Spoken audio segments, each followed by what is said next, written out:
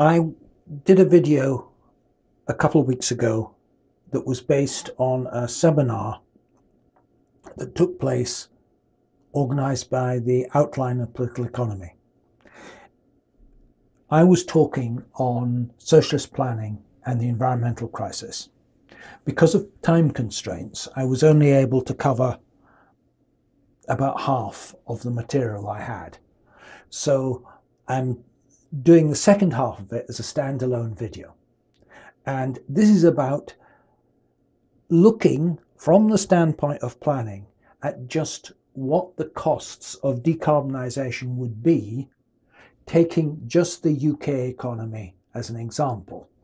Obviously, similar calculations can be done for any other economy. Now, there's a tendency of people to underestimate what the real costs of decarbonisation were going to be. And the point is that if real costs were faced, there's no alternative but to move to a substantially command economy with major state planning. And for obvious reasons, liberal economists want to play this down because it has unfortunate political um, consequences from their point of view. Now let's start off by looking at what the remaining emissions that the world's allowed if we're to stay within the 2 degree centigrade limit. Now, as I showed in my last talk, even if you stay within the 2 degree centigrade limit, if we stay in the low 400s um, parts per million um, of CO2, we're talking about uh, Pliocene climate with no ice on Greenland, much higher sea levels. So it already has severe effects. But let's look at this. The IPCC took as their base year the 1860 or so. They then give estimates of the cumulative carbon emissions that have occurred since then and the cumulative emissions going forward that would keep temperature rises below 2 degrees centigrade. Now, because any of this is done with modelling, and because there's uncertainties in any modelling, there are probabilities attached to their estimates. In 2011, they estimated that there were 515 gigatons of carbon emitted already average emissions um, in time going for, forward are about 10 gigatons a year. And from this, you can work out what the remaining allowance is by them saying what the total amount that could be emitted to keep the temperature below 2 degrees centigrade, looking at the amount that's been used so far and the rate at which it's being emitted at the moment, roughly 10 gigatons a year. And they then say, if you are going to have a 66% probability that you'll stay below 2 degrees centigrade, the total emissions can't be above 790.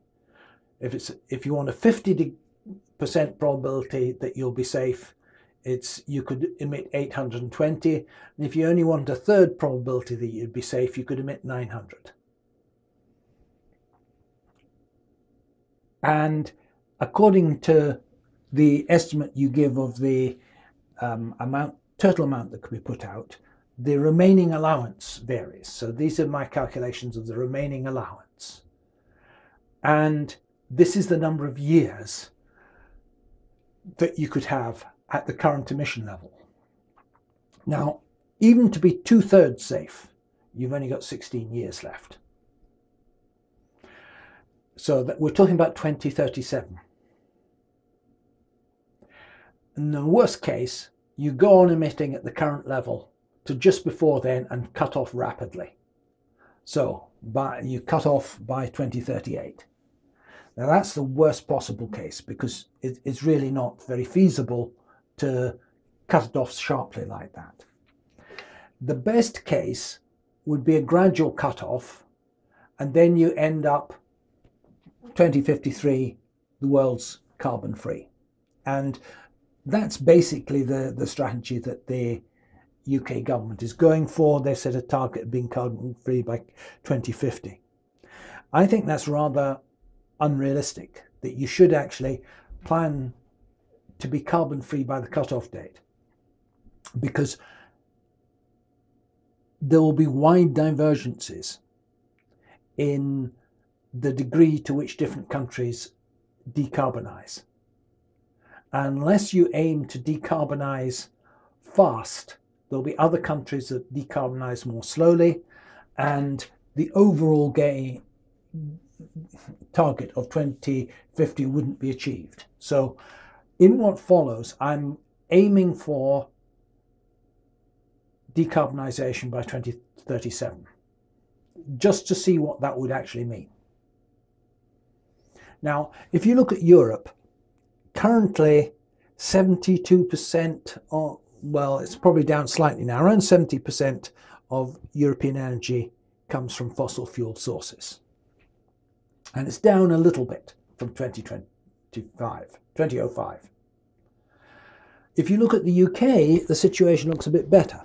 The British government put out a statement last year saying last year Britain went for more than five months in total without using coal to produce electricity. In May, it went for a fortnight in one stretch, the longest coal free period since the 1800s. Well, why did they choose 1800? Well, that's when they started making electricity. The plot to the, the right here shows the fossil fuel. Coal is blue, dark blue there. Uh, oil is red. Orange is gas. So, and from then on, it's various types of carbon free emissions. Nuclear is green, orange is hydro, wind is, is light blue, bioenergy is this other shade of blue, and then imports, which is electricity coming over cables from France, which is nu generated nuclearly. So only if uh, if you view it as a clock, only from 12 to 5:30 is is fossil fuel. So that looks pretty good. Now, how, how did they achieve this? Well, basically, they achieved it by shifting to natural gas combined cycle power plants. This shift started at the point when Britain had produced a lot of natural gas from the North Sea. Secondly, they've done it by expanding wind and solar power. And thirdly, they've done it by converting the old coal stations to burning mainly biomass, um, mainly wood chips, uh, wood waste. There's some question as to whether this is really from sustainable forestry, but let's leave that aside for now. Now, why was the shift to natural gas effective? Well, first point is it's thermally a lot more efficient. A natural gas power plant uses what is basically a, a an aircraft engine, a jet, a gas turbine, which compresses the air, burns the fuel, the gas turbine then drives a generator. But the exhaust from uh, a jet engine is hot. So they feed the exhaust through what's basically a boiler and boil water and also drive a steam turbine. So they get two bites at the, the cherry really. An ordinary power plant just has the boiler and the steam turbine. By putting a gas turbine in front of the combustion of the um, natural gas, they get two attempts at getting energy out of it and have a much higher or substantially higher thermal efficiency. And secondly, methane releases a large part of its energy by oxidizing hydrogen rather than oxidizing carbon. So there's less carbon dioxide release per joule of heat produced. But it's still a temporary measure, since burning methane still releases carbon dioxide, even if less than with coal. And all fossil fuel emissions have to be re replaced, in my assumption, within at most 30, within at most 30 years in the um, the government plan. I'm trying, I will later present costings for doing it faster than that. But electricity is only half the story. If we were just using electricity, we would be more than halfway to carbon neutrality. But it only makes up a fraction of total energy use. There's also energy used in vehicles, aircraft, for domestic heating, for process heating, etc. The uh, production of bricks requires the burning of natural gas in the kilns. Similarly, if you're producing concrete, you um, you need natural gas to provide the heat to sinter the, the concrete, so, or sinter the limestone. So taking as a whole, the economy as a whole, only 23% of energy came from renewable sources. Now, this is not just electricity, but the whole economy. So there's coal, this is oil. Now, now that's huge. Whereas very little oil is used to make electricity, a lot is used for transport. Then here's gas, and it's a bigger percentage than before because it now includes the gas that's used for process and domestic heating. And just this section, say from 9.30 to, to midnight, is green. So the situation is much worse when you look at total energy usage. The implications are you must close down all the remaining coal, oil and gas power stations. Then you've got to build enough nuclear and wind ones to replace other energy uses, to replace energy uses in heating people's houses, transport and industrial process energy. Now, it's worth, you have to go through the government's energy statistics and break them down by usage. Because the government's energy statistics are given in physical terms, and you then have to say, where does this uh, fuel end up being used? So you can you have to account for the fossil fuel that's used in electricity generation.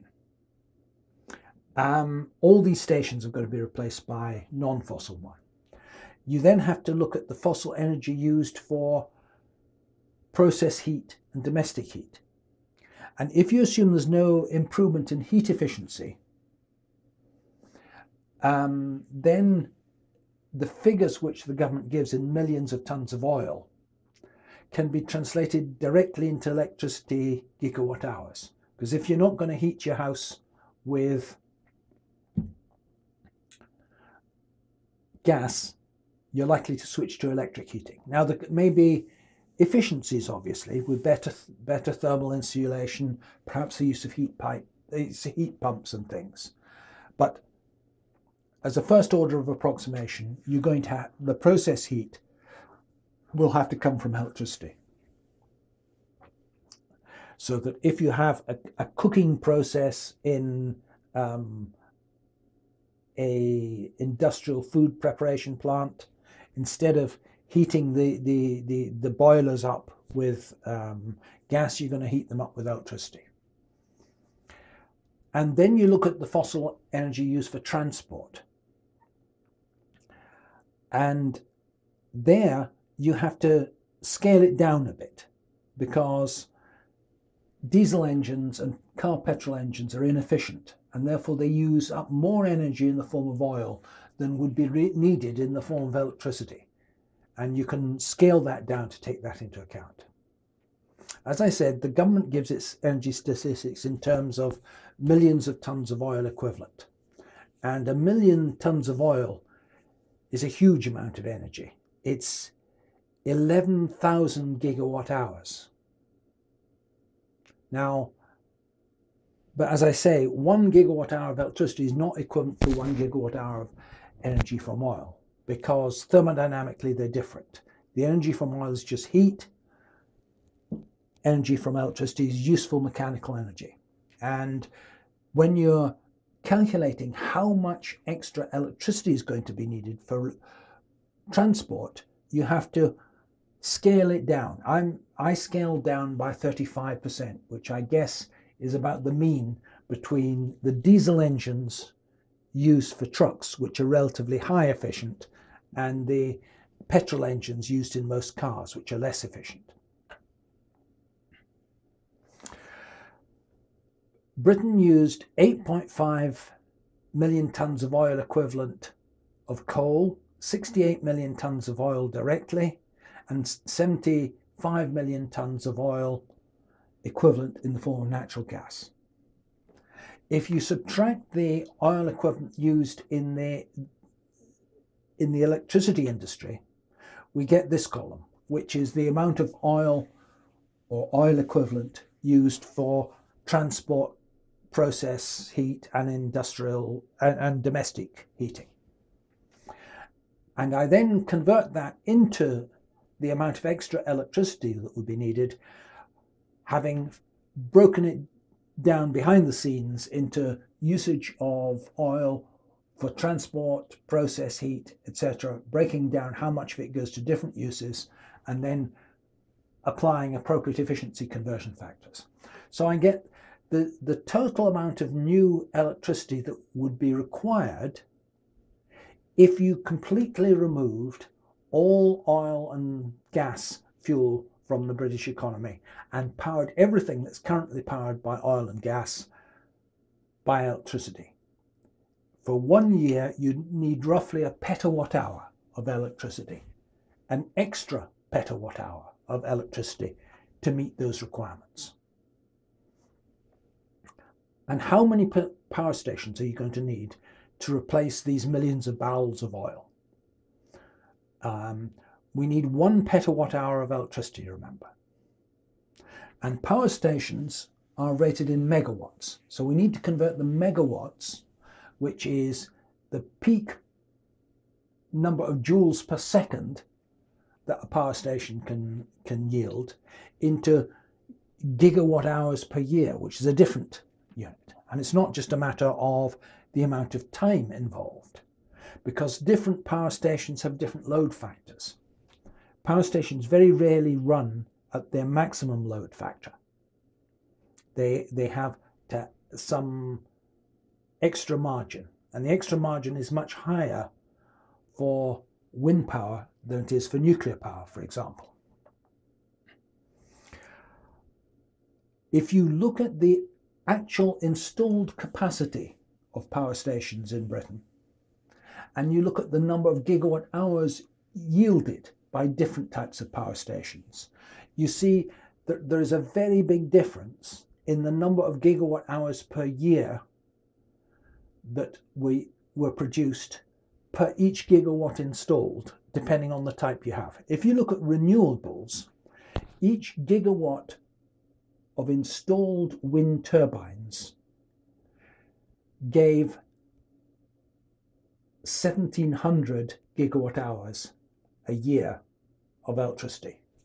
If you look at the nuclear power plants, each gigawatt of installed nuclear power plants gave 65 um, or 6,500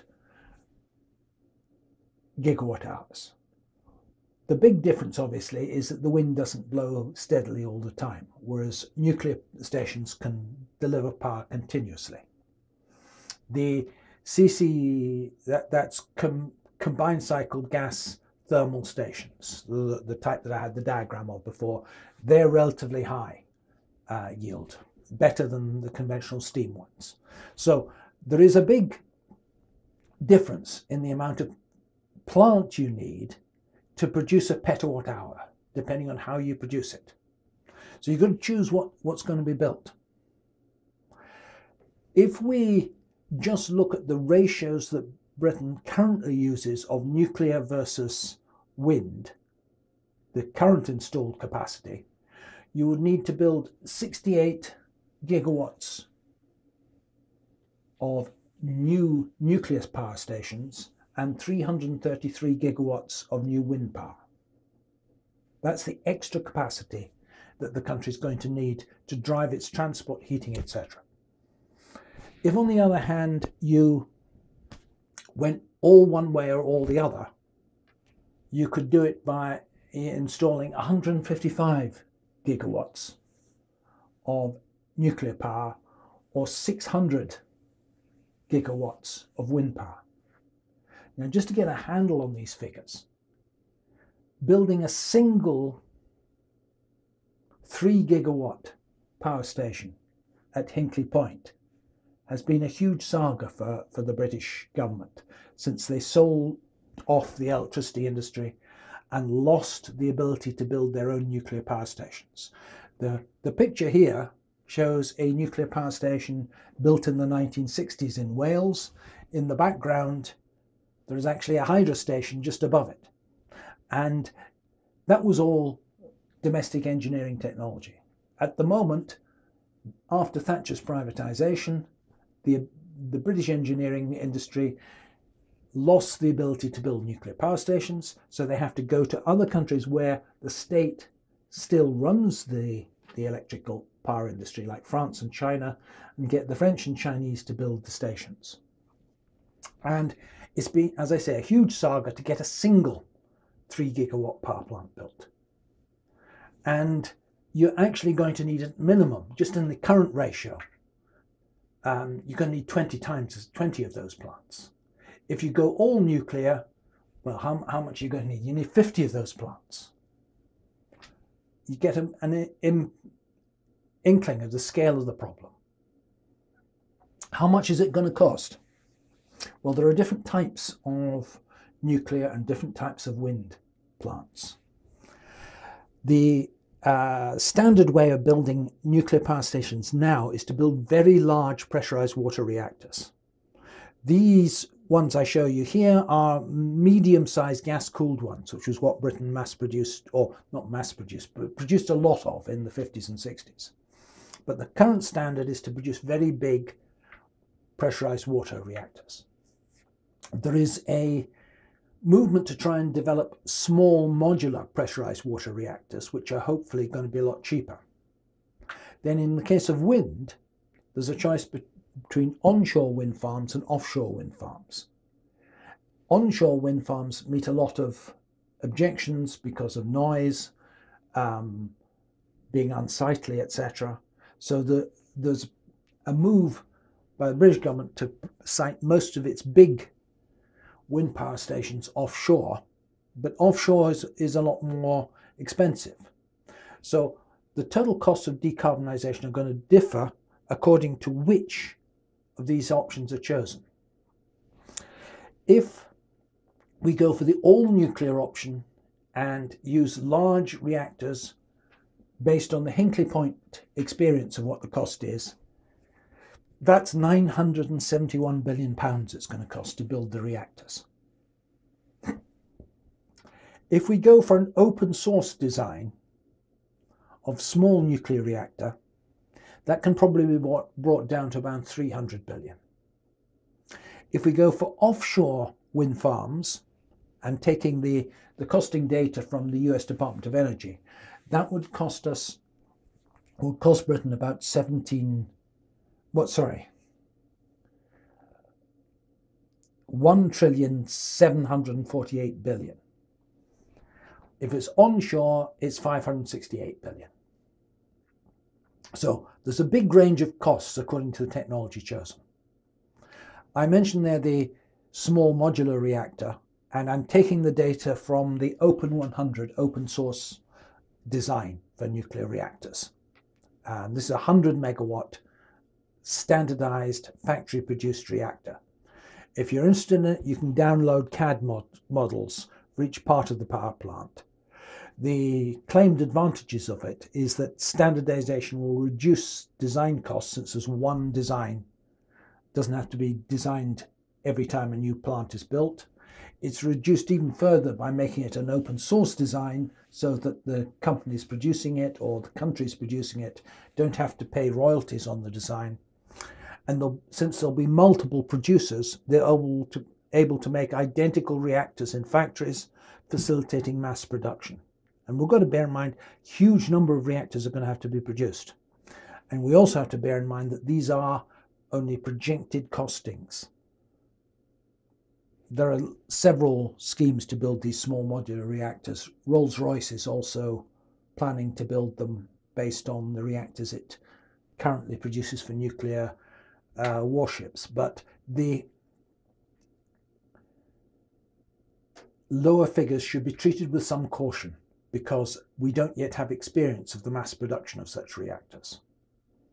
So if we look at these figures, hundreds and hundreds of billions of pounds, how does that compare with the current rate of capital accumulation in Britain? If you look at the UK accounts, and everything I was doing was for 2018, the UK had a gross capital formation of 381 billion. Now, that's a large sum of money and it makes these decarbonisation things seem quite feasible. But if you then look at another column, you see that capital consumption, I say depreciation, was 331 billion. So that the net formation of new fixed capital was only 50 billion.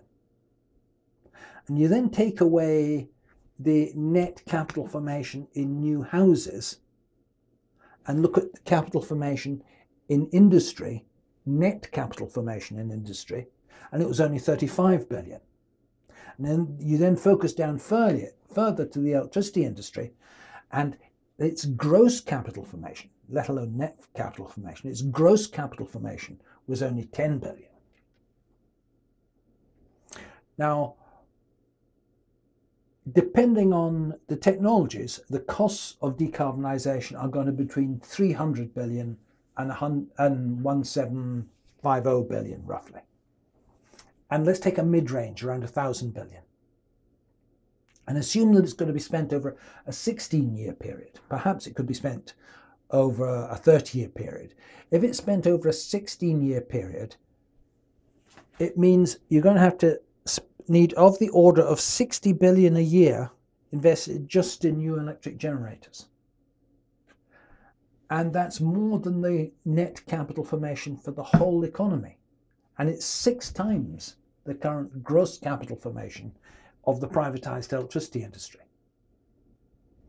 In summary, what I'm saying is there's a relatively short time horizon to end CO2 emissions and it'll involve replacing existing power stations and building up a huge amount of new electrical capacity to replace the oil and gas used. The investments would be the order of 60 billion a year. And I'm not including all the extra investment that has to go into replacing the vehicle stock of the country. The extra investment that industries are going to have to make to replace gas powered heating with electric heating. Masses of investment throughout the economy. I'm just focusing on the ele electricity investment. Now, the scale of that development is such that only a nationalised energy sector would carry it out. Thatcher experimented with privatising the electricity industry. The net result has been a prolonged period of relatively low investment and the loss of the technological capacity to build nuclear power stations. And there's essentially no chance that the free market economics will induce this level of investment. It can only be either enforced by, this, by some form of state planning, state regulation of power generation, which obviously in, is increasingly involved in the existing degree to which fossil fuel use has declined.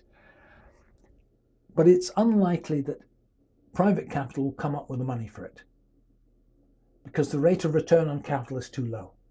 We have just seen that a second large power, nuclear power station that was planned in Wales to go next to one of those old Magnox ones at Wylfa.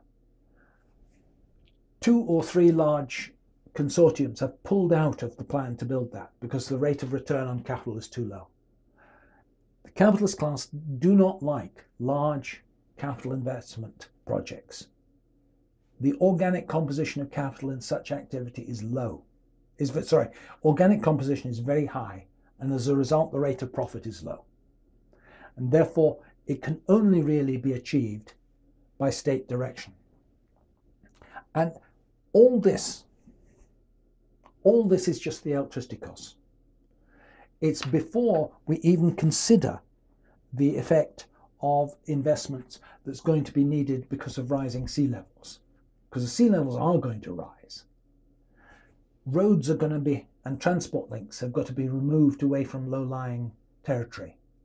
Cities on low lying uh, land have got to be evacuated and rebuilt on higher land. Ports have got to be moved upriver away from areas that will flood. These are huge investments again. And if left to the private sector, they're not going to happen.